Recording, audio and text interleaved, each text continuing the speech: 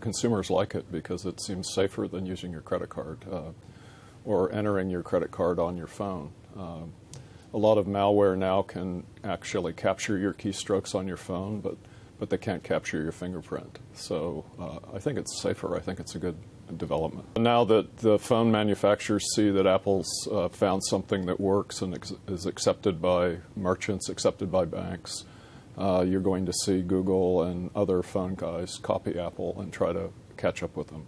How expensive is the technology?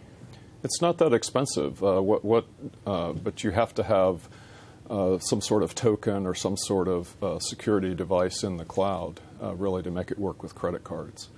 Uh, so I think that it's safer for the consumer. It doesn't cost, uh, you know, it costs a few basis points. Visa right now isn't charging anything for that technology in the U.S. with Apple Pay.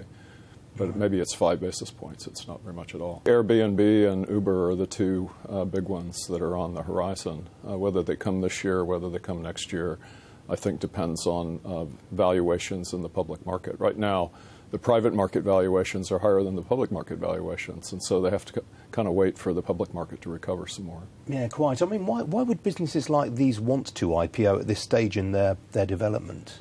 Well, they want liquidity eventually for their shareholders, uh, who are their employees. So uh, I think that that's the reason they want to IPO. And also, it gives them publicity. When you have a successful IPO, then your customers hear about you and they feel like uh, you have a seal of approval.